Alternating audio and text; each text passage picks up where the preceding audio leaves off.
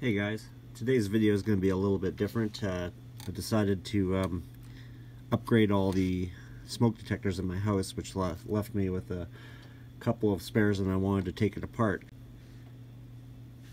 So if we flip this over here, you can see there's a radioactive element, americium, uh, just a small amount, and I wanted to extract it and put it in my little collection of elements.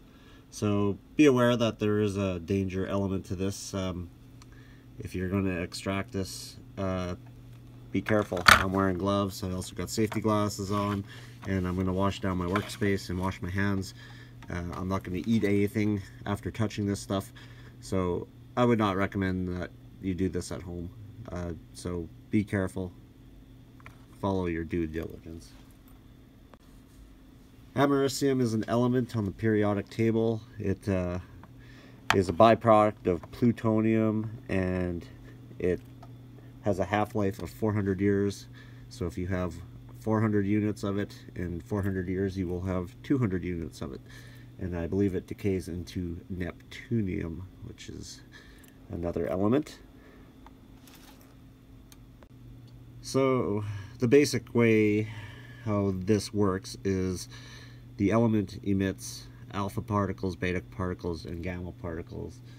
The alpha particles are easy to obstruct, so smart, it'll actually hit smoke particles, ionize them, and then a detector will detect the ionization particles and set off your detector. So that's basically how it works. If you want to know more about it, uh, there's a little thing called Google, and you can look it up on there. Okay, well let's get back to uh, ripping this thing apart here. So uh, since I'm not going to use this detector anymore, it's past its uh, seven year life, I'm going to basically destroy this thing to get it out. So what I'm going to do is just uh, cut it out here so I can open it up.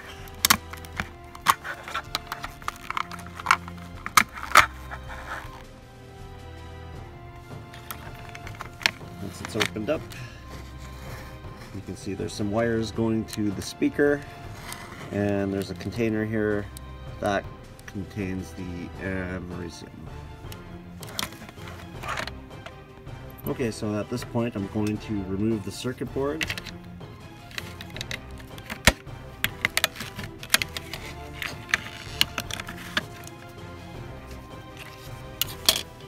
Okay, that's out.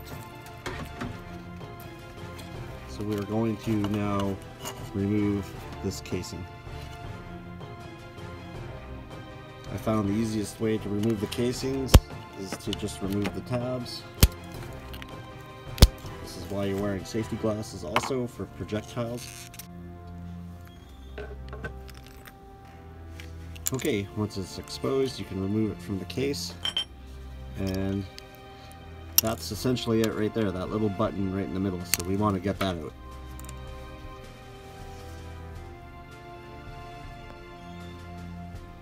So I found the easiest way here is just to peel back this.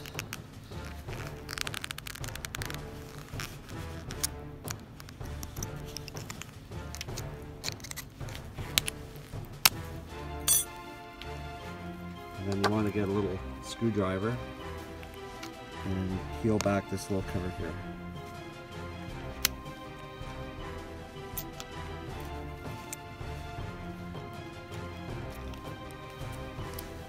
Like so.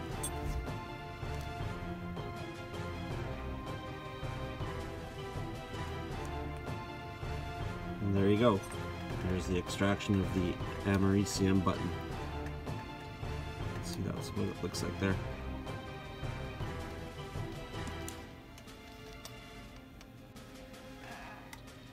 So americium-241 does emit some alpha particles, uh, which can be blocked by anything as simple as gloves, a glass vial, even your skin will protect you. You don't want to ingest this stuff uh, as it could cause damage to your inner organs. Uh, I don't think it emits uh, beta particles and it does emit low-level gamma rays, so nothing too dangerous, but you gotta respect the properties of this metal.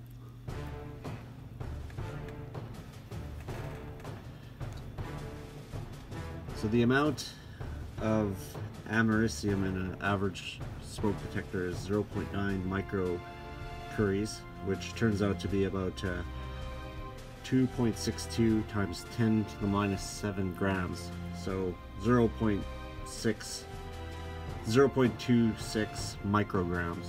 Not very much. Maybe in the future I'll get some uh, detecting equipment and we can do some readings. There's plenty out there on YouTube and on the web for what uh, these things emit. So yeah, that's uh, my project here. So thanks for watching.